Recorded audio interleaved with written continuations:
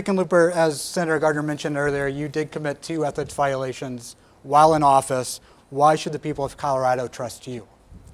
Well, as you know, those were uh, violations of travel I did trying to promote Colorado. We went from 40th in job creation to becoming the number one economy in the country.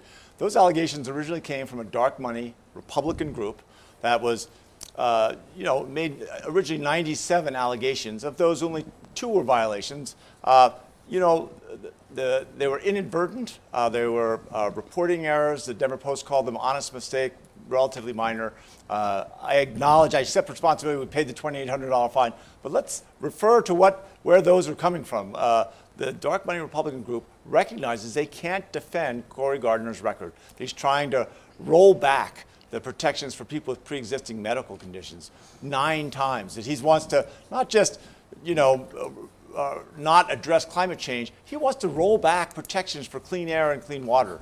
Uh, this is unacceptable by any measure, and they know he can't run on it, so they've spent $20 million in attacking me over the course of the summer. Uh, you know, that's Washington politics coming to Colorado. And I don't, I don't think Colorado's, a, I think they see right through it. Coloradans recognize this is a, uh, a huge amount of, of, of uh, attack ads and, and, and just cover ups for the lack of a record that can be defended. Thank you, Mr. Hicken.